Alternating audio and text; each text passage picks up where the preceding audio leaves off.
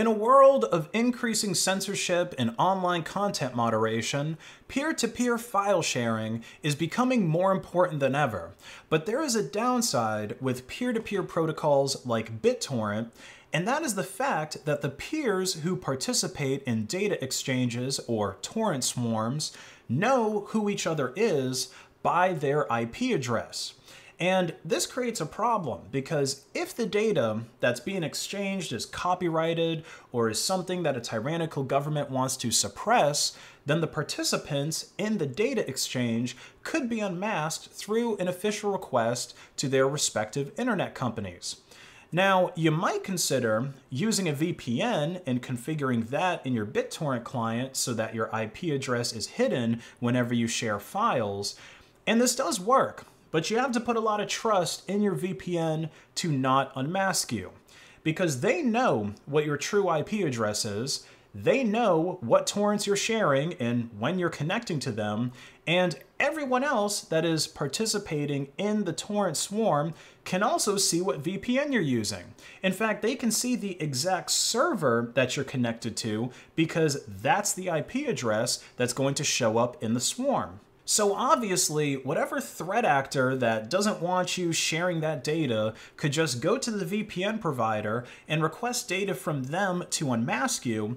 And unless you're using one of the few VPNs that really truly don't keep any activity logs and let you pay for the service without a credit card and don't require you to create an account with your email, phone number, or anything else that would leave a paper trail back to you, then you're screwed.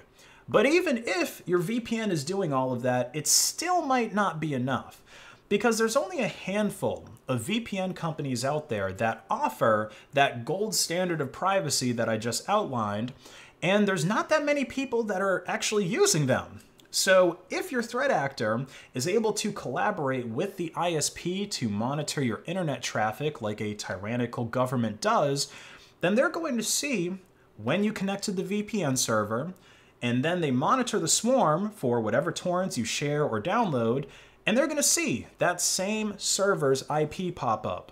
And even though your connection is encrypted by the VPN, the time of connection and data sent is still pretty much going to match. The number of bytes sent and received aren't going to be exact because there's more data that's added in with the encryption process. But if you torrent a 5 gigabyte file at 10 a.m., for example, the threat actor can see the VPN server connected to the swarm around the same time that you connected to the VPN, and at least 5 gigabytes of data traveled through each hop around that same time that you were connected.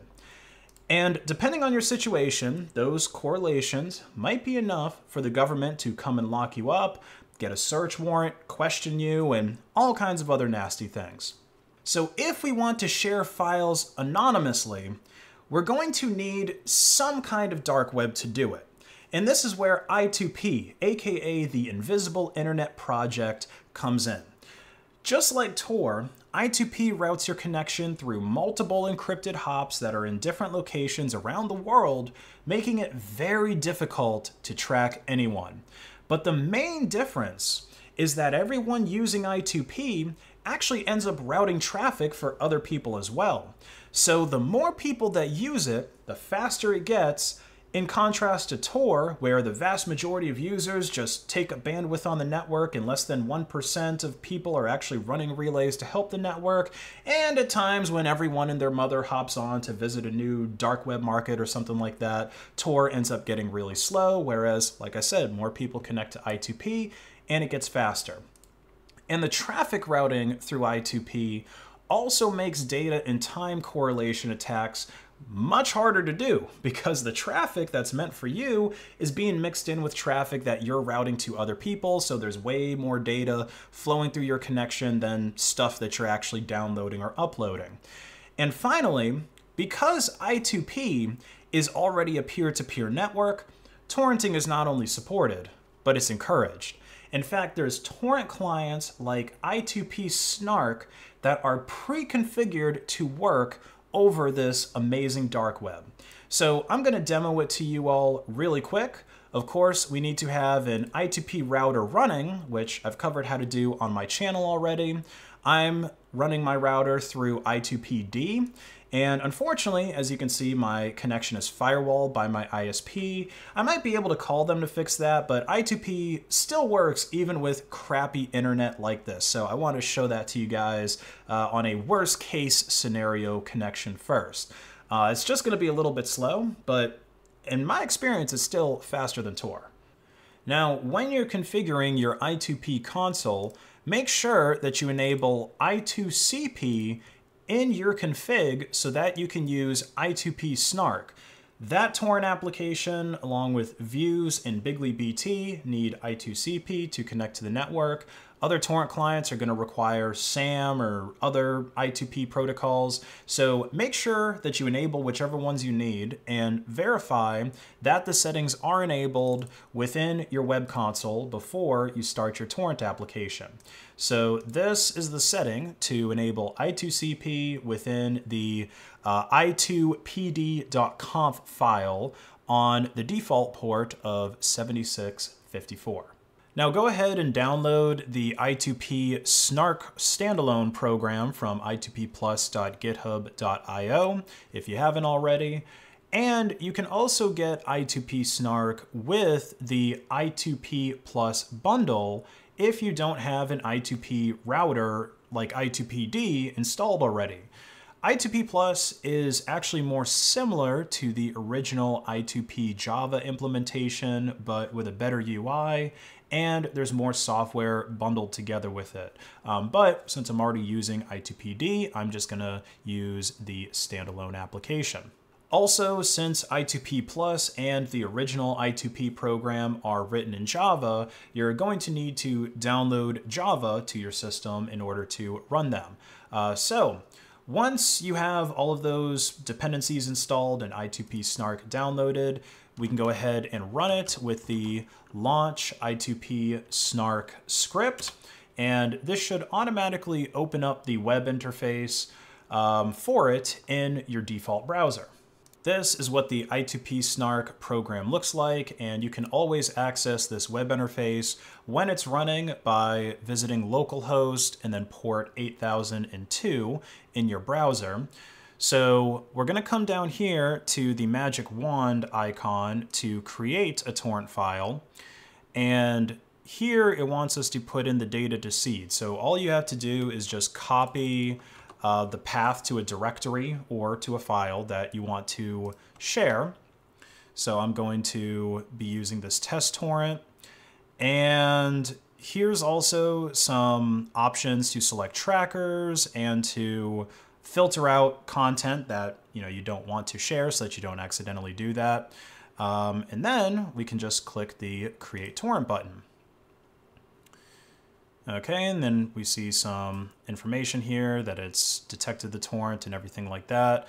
Um, so now you can see the folder for test torrent is here, and if we click into it, we can see the content um, and so what I'm going to be testing with is Jordan Peterson's most controversial lecture ever. We'll just have a quick preview of this. Okay, so there we have Sneed's feed and seed, but you really have to think about this. It has what you need to create and sustain life. It's like, how would you say, an analogous manifest of the Garden of Eden all right, so yeah, this is pretty heavy stuff for YouTube, so I'm not to play anymore. Um, you know, there's a lot of city slickers out there with cars made in Guatemala that wish they could purge this from the internet. Well, good luck deleting it from the dark web, bucko. Start the torrent. Okay, so now we are actively sharing it, and up here uh, is the magnet link that we can copy, or actually you can copy it easier by going back to the I2P Snark homepage and then just click this and boom, our magnet link has been copied to our clipboard. So then you can go ahead and share this with somebody or anybody who you want to download the content. Okay, so I'm here in I2P Snark, which is running on a different computer, and this is actually running as part of I2P Plus, so I can show you what that web console looks like for that version of I2P. Definitely the nicest looking one out of all the different I2P implementations that I've used. Um, you can see all the different programs that are in here, but anyway, going back to I2P Snark, in order to add a new torrent, you want to click on this green plus button here. And you want to make sure that the data directory is set to where you actually want to download the torrent to. I think on Windows by default, it's going to download to your uh, program folder. So make sure that that's set correctly. And in the from URL field, you want to paste in that magnet link. And now we can get started with downloading the torrent. It does take a little bit longer for peers to discover each other on I2P than when you're doing torrents on the ClearNet. And like I said, this download might take a little bit longer because my connection is firewalled, but if you configure I2P for high bandwidth, it'll still be pretty fast. So I'm gonna go ahead and speed up this part of the video until the download finishes.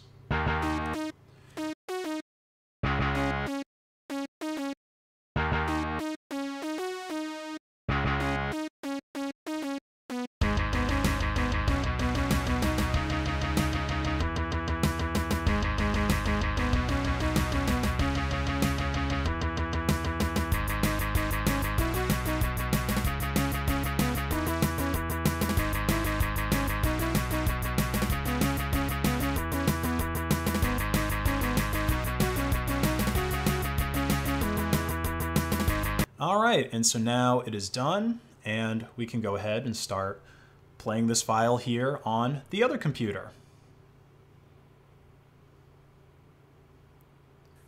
Feed and seed, but you really have to think about this. It has what you need to create and sustain life. It's like, how would you say, an analogous manifest of the Garden of Eden, and then you have Homer. His farming life is in chaos, an absolute hell, but he makes this sort of pilgrimage to Sneed's feed and seed to find and there you have it. That's how you can transfer files peer-to-peer anonymously over the I2P network. If you enjoyed this video, please like and share it to hack the algorithm, and check out my online store, based.win, where you can get awesome merch like the Little Damon t-shirt and the Come and Find It hoodie. 10% discount store-wide for paying in Monero at checkout. Have a great rest of your day.